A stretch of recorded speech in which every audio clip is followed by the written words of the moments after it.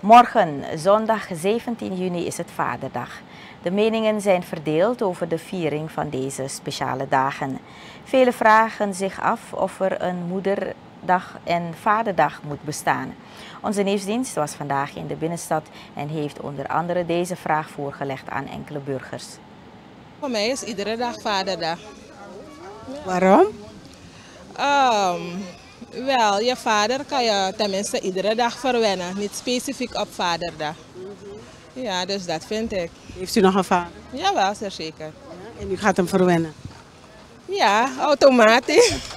automatisch. Want de mannen klagen die zeggen dat er niet zoveel aandacht wordt besteed aan de vader. Oh nee, dat hebben die pech.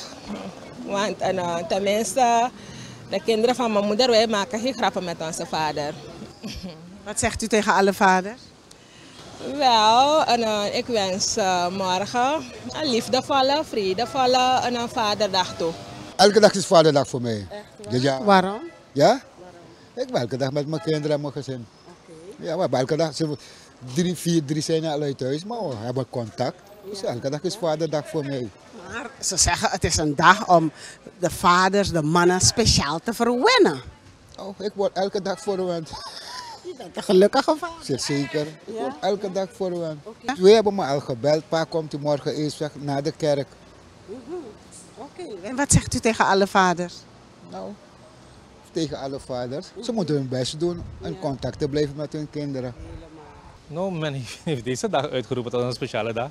Maar in feite moet elke dag, vaderen moeten elke dag verwend worden. Dus el- elke dag is vaderdag.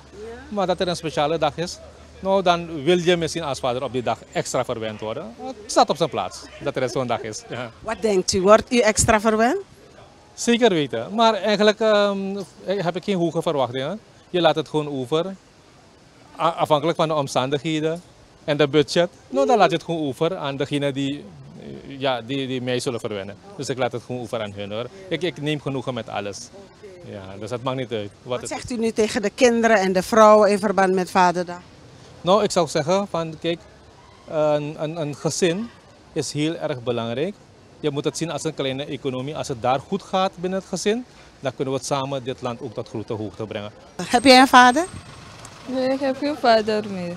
Maar vind je dat er een vaderdag moet zijn? Jawel, Oké, waarom? omdat mooi.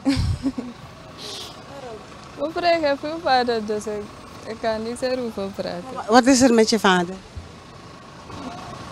Hij verzorgt ons niet. Jawel, Dus dat is niet zo leuk. nee boy. Dus dan zeg jij voor mij geen vaderdag. Nee boy, niet voor mij.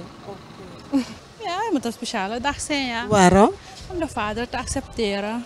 Je hebt nog een vader? Jawel, mijn vader is niet hier bij mij. Mijn vader is helemaal in het binnenland, dus ik moet dat accepteren. Je hebt wel een band met hem. Jawel, we maken we ook een telefonisch contact.